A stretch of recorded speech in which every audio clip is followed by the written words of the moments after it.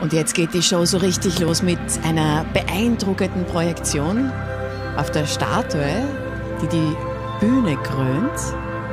Die überdimensionale Live-Plus-Figur wacht wie ein Conferencier über das Geschehen in der revueartig gehaltenen Showkuppel.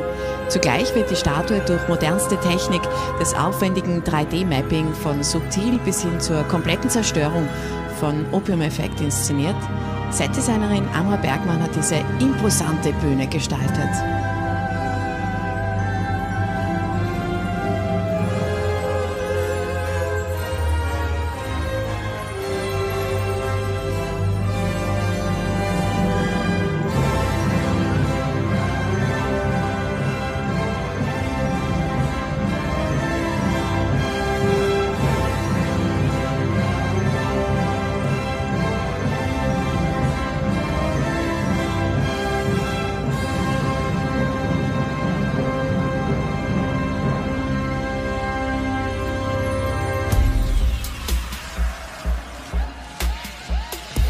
Jetzt wird so richtig cool. Gerade waren wir noch am Rathausplatz in Wien, jetzt sind wir schon in Metropolis. Die berühmteste Szene, die Hure von Babylon, wird jetzt dargestellt von der japanischen Breakdancerin Aya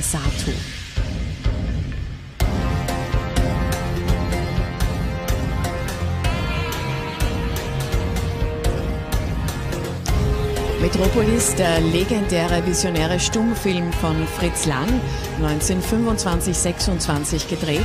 Schauplatz ist eine futuristische Großstadt mit ausgeprägter Zweiklassengesellschaft.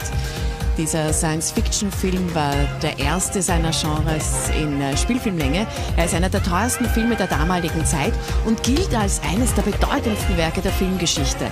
Metropolis ist ein unglaublich visionärer Film. Eine ganze Gesellschaft wird beeinflusst und unterjocht und missbraucht von ein paar Oberen. Eine Warnung. Wer im Gleichschritt mitläuft, landet irgendwann in einer Diktatur. Erkenne die Gefahr, recognize the danger.